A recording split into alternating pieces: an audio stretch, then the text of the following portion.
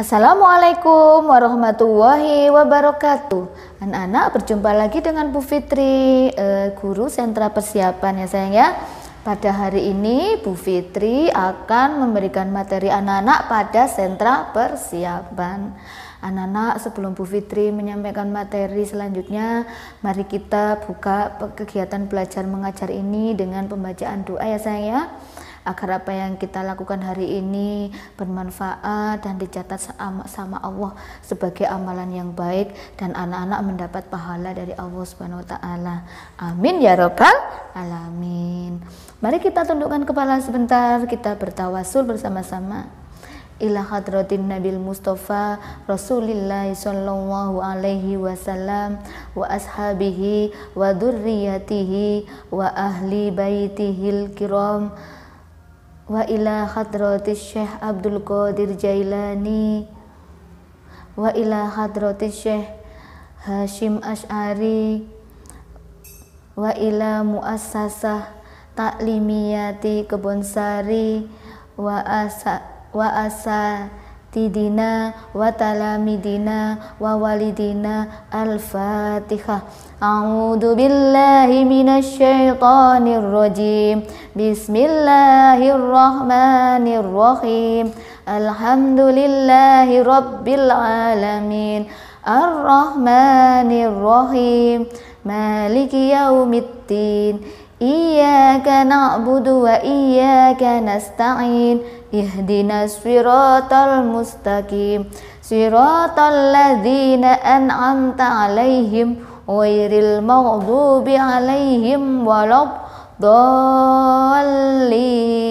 رب اغفر لي ولوالدي وللمؤمنين. آمين. Amin Alhamdulillahirrabbilalamin. Setelah kita baca surat Al-Fatihah Mari kita baca doa. Mau belajar ya sayang ya? Doa mau belajar. Radidu billahi rabba Wa bil islami dina Wa bi muhammadin nabiyya wa rasulah Rabbi zidni ilma Warzuqni fahma. Amin. Alhamdulillahirrabbilalamin doa mau belajar sudah kita baca bersama-sama. Mari kita lanjutkan dengan pembacaan sholawat nariyah.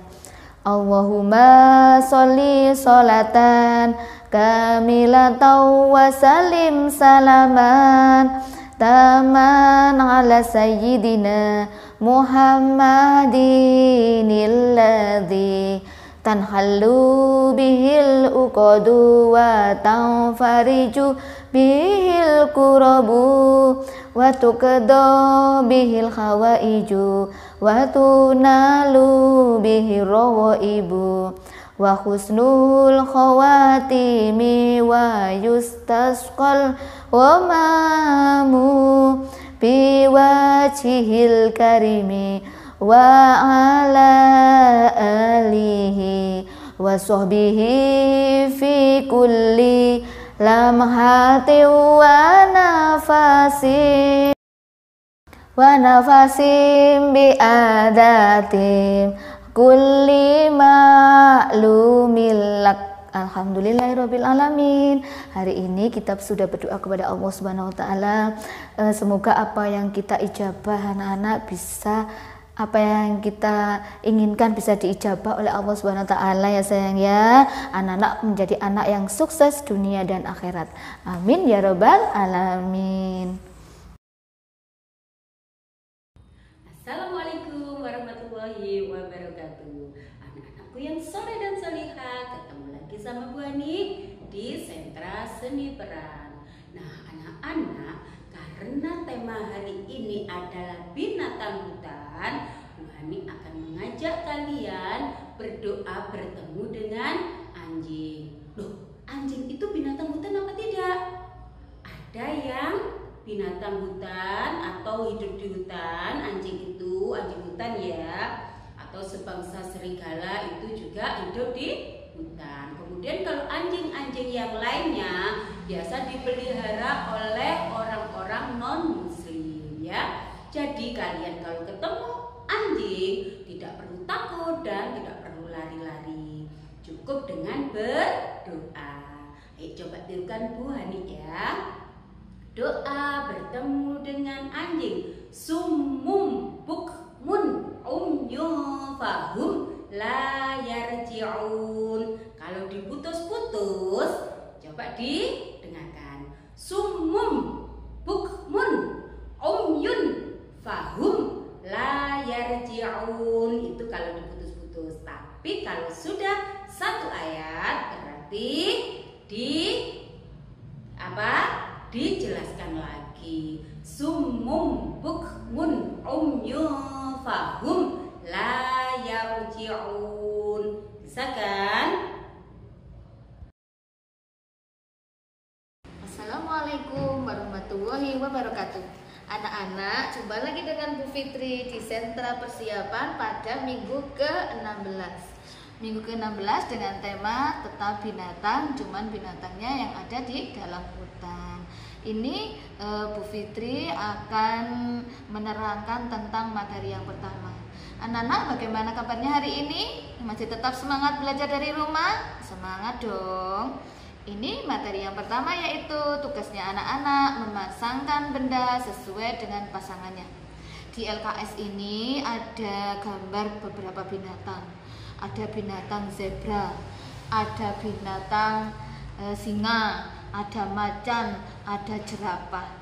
Dan yang bawah ini yaitu kepalanya, yang atas ini badannya saja. Tugasnya anak-anak apa? Yang pertama menggunting gambar kepalanya saja. Digunting gambar kepalanya sehingga seperti ini. Ini sama Bu Fitri sudah digunting. Setelah digunting, nanti tugasnya anak-anak ditempelkan sesuai dengan pasangannya. Oh, ini kepalanya zebra ditempelkan di zebra. Ini kepalanya gajah ditempelkan di gajah. Ini kepalanya singa ditempelkan di singa. Itu tugas anak-anak yang pertama yaitu memasangkan benda sesuai dengan pasangannya. Anak-anak setelah tadi tugas yang pertama sudah selesai, sekarang dilanjutkan dengan tugas yang kedua.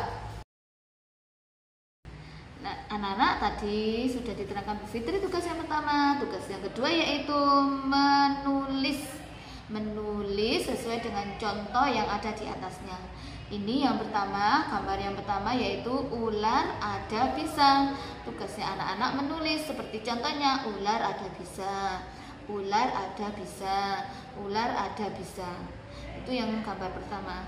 Gambar kedua yaitu harimau lari laju. Tugasnya anak-anak juga sama menulis seperti contoh yang di atas. Menulisnya di atas yang eh, di atasnya garis ya nak ya. Ini gambar ketiga juga gajah ada belalai singa makan daging. Itu nanti ditulis sesuai dengan contoh. Itu tugas yang kedua Alhamdulillah tugas yang kedua sudah selesai. Sekarang dilanjutkan dengan tugas yang ketiga. Tugas yang ketiga apa anak-anak? Tugas yang ketiga yaitu Bu Fitri punya gambar jerapah. Jerapah yang sangat besar. E, Nanti tugasnya anak-anak mewarnai Mewarnai jerapah ini sehingga menjadi binatang yang sangat cantik Sangat bagus. Anak-anak mewarnainya sesuka hati ya Sesuai dengan warnanya jerapah. Anak-anak pernah lihat jerapah kan di kebun binatang? Nanti diwarnai sesuai dengan warna jerapah gitu ya sayang ya. Ini tugas yang ketiga yaitu mewarnai gambar jerapah tuh Alhamdulillahirrahmanirrahim Tugas hari ini di sentra persiapan sudah selesai.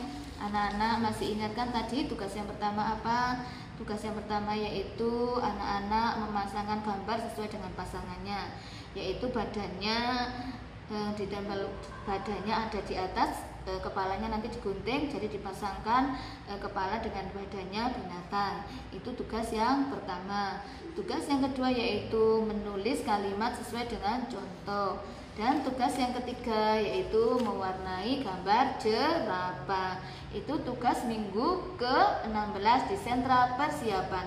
Anak-anak semangat belajar dari rumah. Assalamualaikum warahmatullahi wabarakatuh Alhamdulillahirrahmanirrahim Anak-anak untuk materi hari ini sudah selesai di sentra persiapan eh, Semoga ilmu yang didapat anak-anak hari ini manfaat, barokah, fitini wa dunia wal akhirah Anak-anak eh, agar ilmunya manfaat, mari kita tutup pembelajaran ini dengan membaca surat Al-Asr ya sayang ya.